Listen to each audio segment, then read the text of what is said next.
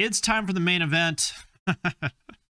okay. Breaking news, breaking news, breaking news. We have a new champion, everybody. We have a new champion. I'm proud to announce Kid Rock, no longer the king of cringe. In fact, Tom MacDonald, he's been waiting in the wings for a while, right? You can tell when someone's on a tear, when they've won like eight fights in a row, and you're like, man, as soon as this guy gets a shot at the belt, he's going to take that thing and go home with it. So you're going to say, Welcome to the new era, right? Today, we have one of those moments. Tom MacDonald has dropped a new song called Facts featuring your man, Ben Shapiro, on the mic. On the mic. And it is as bad as you think, okay? And so uh, I'm going to make fun of the song a little bit, but there's some serious things I want to say about it too. We'll talk about this. Oh, right wing is the new punk.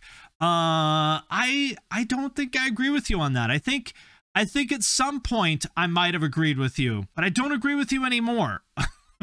if being right wing was ever punk, uh, Tom MacDonald killed that, uh, and we'll see why in this song. Let's check it out. They call me offensive, controversial. It's only two genders, boys and girls. They can't cancel my message because I'm the biggest independent rapper in the whole freaking world. Look at in the first six seconds of the song. What does he say here? First six seconds of the song. It's only two They can't cancel my message. There's only two genders, boys and girls. I'm the most successful independent rapper in the world. Goes right for the kill. I like this uh this video set here with all these old CRT TVs piled in a wall in this abandoned warehouse. Like is this some warehouse in LA that exists like only to be a video set for the most like mid generic music in the world? I feel like there's like 10 crappy generic metalcore bands that have used this exact same set. yeah, the Gent video set. Yeah, you can see the lights are on, right? So um, he got a deal on this set. They're going to go shoot like a crappy metalcore video in the evening, but he got a deal on it. He comes in at noon and they'll let him use the set for half price. I'm not ashamed. Oh, here we go. Here we go. This is how we know that it's the Gent video set. We got the LEDs. We got the LEDs in the warehouse with all the TVs. there it is. I'm just so glad that Tom MacDonald is out here finally, someone who's not ashamed of being white. You know, it's only a matter of time, people. It's only a matter of time until Tom MacDonald has a song with a line that is something to the effect of white men are the real N words these days, right? It's guaranteed that he will drop a song that says that, right? you know what's so fucked up about this world today?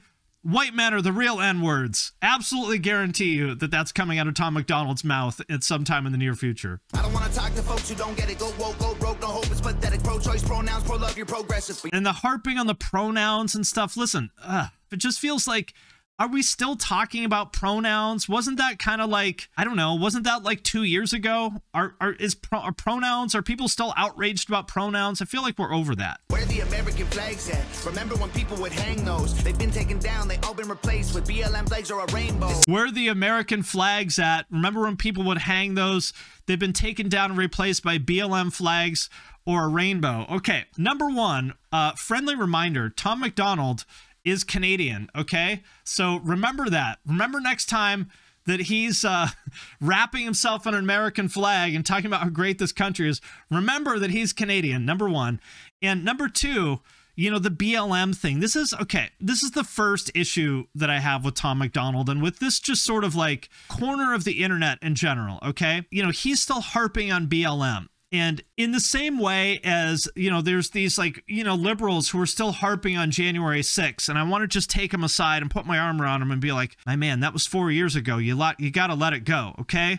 We're not still outraged about January 6th. You got to let it go. I want to put my arm around Tom and say the same thing. Be like, Tom, I hate to be the one to break it to you, but uh, the BLM thing, uh, that was a few years ago. That is no longer the current thing. I don't know what the current thing is because I have better things to do with my life than know what Facebook dads are outraged about at the moment. But I'm pretty sure we're not mad about BLM anymore. it just it feels like all of this is just like, you know, stuck in 2016. You remember you remember back in 2016, 2017 when there was all the, you know, Facebook videos about, you know, Ben Shapiro and people like that owning college students, right? You know, it's like a liberal college student tries to own Ben Shapiro and instantly regrets it. I feel like they're kind of stuck kind of in that era. Like, you know, if you ever go to like NAMM or something like that and you see one of these like 55 year old dudes that's still dressed like he's in Guns N' Roses, you know, and you're like, ooh, God, this guy is still stuck in 1989 that's rough. That's rough. And I feel like this whole corner of the internet is still stuck in like 2016, you know? And you're like, uh, let's move on. let's not still be mad about stuff from 2016. We ain't selling drugs, we ain't gonna overdose. We ain't pushing guns, ain't promoting stripper poles. I like this, uh, how he takes the moral high ground here. We're not promoting drugs and hoes you know it's uh i don't like to use this word dog whistle okay? Because the people who use the word dog whistle tend to be like insufferable like you know democrat reddit people. But eh, it feels like a little bit of a dog whistle doesn't it? You know to basically be like we're not like those people that talk about the drugs and guns and hoes. We're better than that. I'm like hmm. What are you what are you getting at here? I don't care if oh here's your man here's my here's my real issue. This whole like I don't care if I offend you kind of thing. I was put here to, you know, to get in your face, right? And my thing with this is like for somebody who spends all this time and energy saying how much he doesn't care what other people think or do, he seems pretty upset about a lot of the things that other people say and do, right? And that's sort of my issue with these people in general. I feel like at this point, they're kind of the snowflakes, right? They've become the snowflakes. They're the ones that seem pretty upset. Like the fact that somebody else refers to themselves as they, them. Why would I care? You can call yourself whatever the fuck you want, right? Why would I give a shit what word to use to describe yourself? Because I, unlike Tom MacDonald, I am not a snowflake. I feel like that's sort of like, in all seriousness, that's my issue with this is like, I'm old enough to remember many different versions of this movie, okay? Like back in the 80s, I remember it was like the Christian conservatives that were the ones who were easily upset and offended by everything and they wanted to control speech, right? Like the PMRC back in the 80s when they would get upset about Ozzy Osbourne and like totally misinterpret his lyrics, you know, like Suicide Solution, which was obviously a song about alcoholism. They said that it was, you know, promoting self-harm and stuff like that. And everyone rolled their eyes and they're just like, shut the fuck up. You don't understand this. Just fucking ignore it. Yeah, the satanic panic. Exactly. I remember that you know, and then it flip it always flips like this, right? And then in the 90s, there was the first wave of, you know, what they called politically correct at the time, right? When people would, you know, it's not history, it's herstory. And you just be like, shut the fuck up. Like, we get it, okay? And then in the 2000s, it was the Tea Party, right? And then after that, it was the SJWs, right? That wanted to control everyone's speech. The woke people that wanted to control everyone's speech and tell everyone words they could and couldn't use. And they were the snowflakes for a while. And now it's flipped again, where I feel like the MAGA people are the snowflakes, right?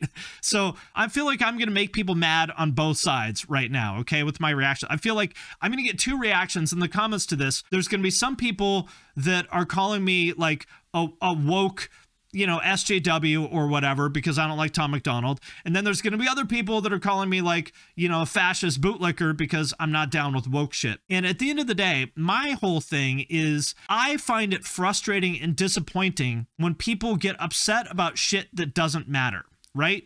Because my actual core values are freedom and equality and caring for people who need our help, right? So the part that's disappointing to me is that there are people on both sides who are arguing on Facebook, and I'm saying Facebook because that's how fucking behind the times all these people are. That there's people who are arguing on Facebook about fucking the dumbest shit, like flags and pronouns and stuff like that. Meanwhile, like, how many single mothers are there right now in this country who are literally struggling just to fucking exist and nobody gives a shit about them, right? We're we're ignoring how many kids are there right now that are wearing fucking shoes that are two sizes too small for them because their parents can't afford it and nobody gives a fuck. Right? This is the part that is very disappointing to me about all this culture war bullshit on both sides is exactly that. Real problems are always ignored. That's what it is. It's like it's easier for you to fucking pander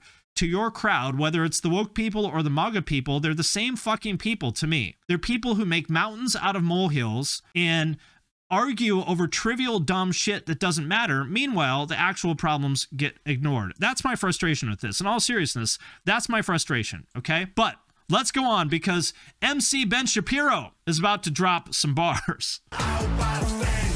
I hope I offend you.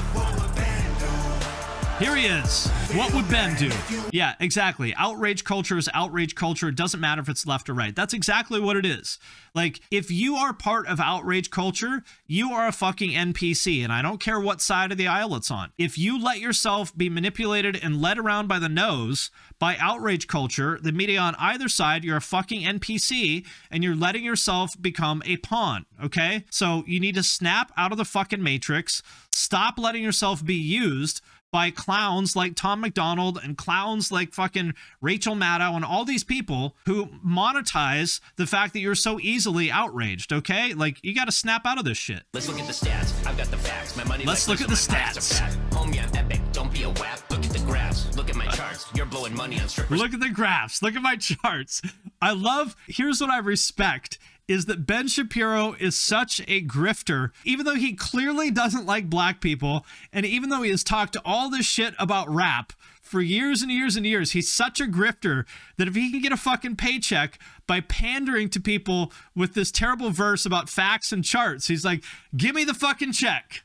And I'm on television, dogs. No one knows who you are. Keep hating on me on the internet. My comment section oh, all woke care. Oh, look look at this. Tom MacDonald doing air comments. You know, it's like uh, you go to the show and the guy's playing air bass. You're like, ooh, this guy's into bass. Tom MacDonald here doing air keyboard. Comment section woke Karens. Take some notes. I just did this for fun. Nicki takes some notes. So I think he's referencing Nicki Minaj. Here's my favorite thing about all this, right? Here's my favorite thing. Nicki Minaj inadvertently dropped the hardest diss right here, okay? The hardest Tom MacDonald diss of all time on Twitter. She said, Ben Shapiro put out a diss record. He said his comment sections are filled with woke Karens. The song is number one on US iTunes. A bunch of laughing emojis. Here's the best part. What is really happening and who is the other man rapping? Who is the other man rapping? Isn't that the best part? Imagine how angry Tom MacDonald is, is that Nicki Minaj didn't even know what his fucking name was. Who is the other man rapping? That is the best. Ugh. Nicki with the inadvertent, just absolute fucking ethering of Tom MacDonald. She cares so little about him, she didn't even see his fucking name in the title of the song. Absolute W. I want to talk about a couple other things that really kind of irritates me. Let me show you how stupid this culture war stuff has gotten is that these words mean nothing anymore, okay? Like basically if you call somebody a Nazi or a fascist, if you're on the left, that just means person I don't like, right? And if you're on the right, calling somebody a woke leftist just means person I don't like, right? You just these words mean nothing anymore. It just means you're a fascist, you're a woke leftist. They mean nothing. So like this guy here left uh, this comment on my video where I was saying that I didn't like Saint Anger, and here's what he said: This reviewer bloke is disrespectful to others' genuine opinions on Saint Anger. Dismissing musicians is trying to be cool. I thought this guy was a genuine appraiser of music, but he's not. He is legitimately acting like a child. This guy is so clearly a woke leftist. He lets stereotypical people he imagines liking the song affect how he interprets the validity of the song. I don't care for this. So this is where it's gotten to now. It's like if you don't like Saint Anger, you're a woke leftist. Like what?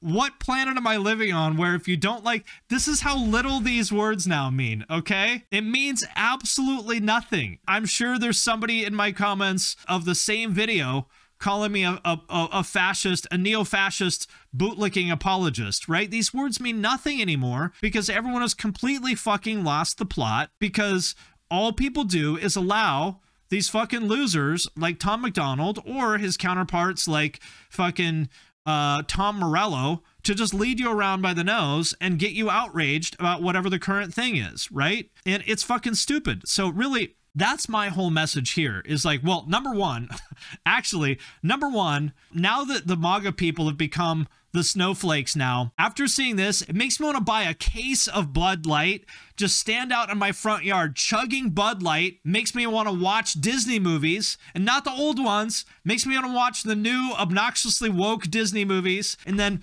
put one of those no human is illegal signs in my front yard just to fucking trigger people like Tom MacDonald. I want to become an actual woke leftist just to fucking piss off Tom MacDonald. I'm going full woke just to outrage him. okay? But in all seriousness, you know, the, the answer here is not to pick a side, okay? You should be striving to be an actual free thinker, right? And if you're an actual free thinker, that means you're probably going to piss off people on both sides. This is exactly right. If you bootlick any government party, you're a fucking clown.